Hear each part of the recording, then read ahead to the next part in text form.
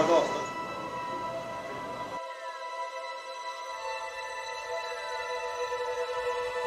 Živijo, sem Matic Borkovič, režiser in izvršni producent pri Awesome Production. Pri delu v naši produkciji zelo pogosto in tudi danes uporabljamo Canonove kamere. Na večjih setih ponavadi posežemo po cinema programu, za manjše projekte pa imamo lastno EOS R kamero, ki smo jo porigali in prilagodili za produkcijsko delo. Tudi današnji projekt smo posneli z EOS R5, za cinematski luk pa smo izbrali Canon CNE objektive. Preskok smo naredili že takoj ob izidu prvega EOS R, ker smo prepoznali prednosti novega Canonovega sistema. Kot režiser se na setih sicer bolj posvečam zgodbi in kvaliteti kadrov, vendar mi je pomembno, da tehnični opremi zaupam. Na Canon se lahko zanesem, ključno prednost sistema R pa vidim v Canonovi odlični reprodukciji barv in možnosti uporabe EF in Canon Cinema objektivov.